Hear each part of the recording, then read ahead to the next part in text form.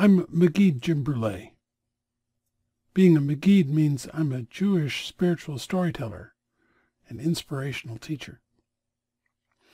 I have a story for you today from a different tradition, as many of my stories are. This time it's from the Buddhist tradition. It's known by many as the gray parrot. And I'd like to share my version of it with you today.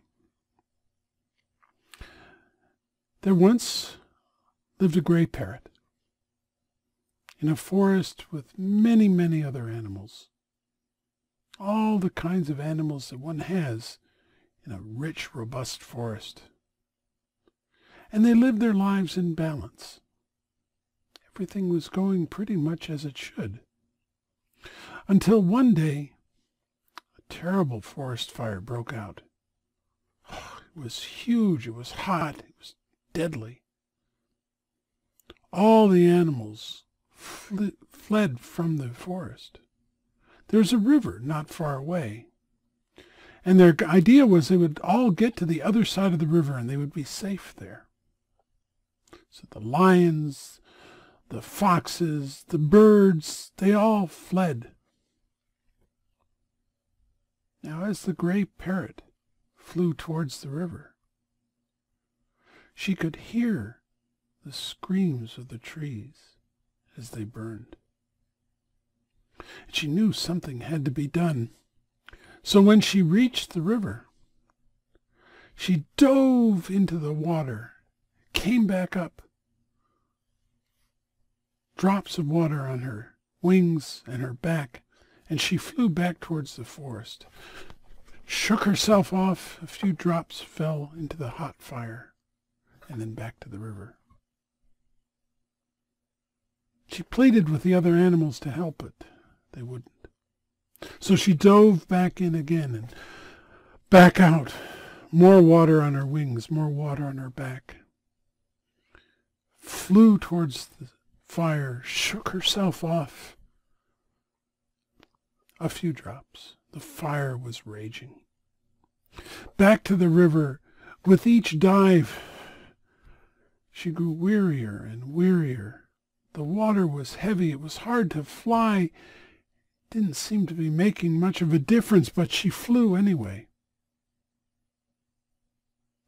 Now, as this is going on, the gods in the heavens look down to see this spectacle of this foolish gray parrot flying back and forth, putting her life in peril with each trip.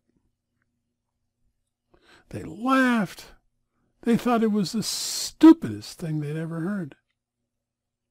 But the head of the gods was curious. And so he transformed himself into an eagle and flew down and flew alongside the parrot just before she dove into the river. And he asked her, Parrot, Parrot, why, what are you doing? Well, I'm, I'm saving the trees. What do you mean, saving the trees? You, you, you can't carry enough water to save the trees. Well, I've got to do something. And with that, she dove into the river and came back up and headed back towards the huge fire, growing hotter and more fierce with every moment.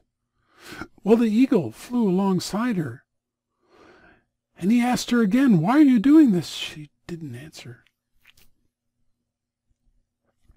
Finally, as she got closer and closer to the fire, the heat of the fire was so great that the eagle couldn't take it any more and soared upwards. The little parrot continued on and shook her wings and headed back to the river.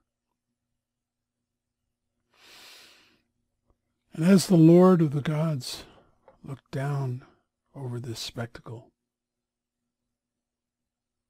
he began to weep. He began to weep and weep, and his tears fell down on the forest. And they extinguished the fire. And one drop fell on the parrot and gave her the beautiful plumage that we see today. Now, there are many kinds of stories like this. This one for me is unique because it's not like the story of the fellow who throws a starfish back into the sea and says, well, it mattered for that starfish.